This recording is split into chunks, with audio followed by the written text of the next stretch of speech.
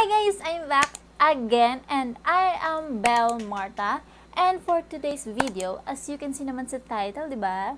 As you can see sa title, gagawa ako ng summer outfit ideas. So, without further ado, let's get started! Beautiful, beautiful, beautiful.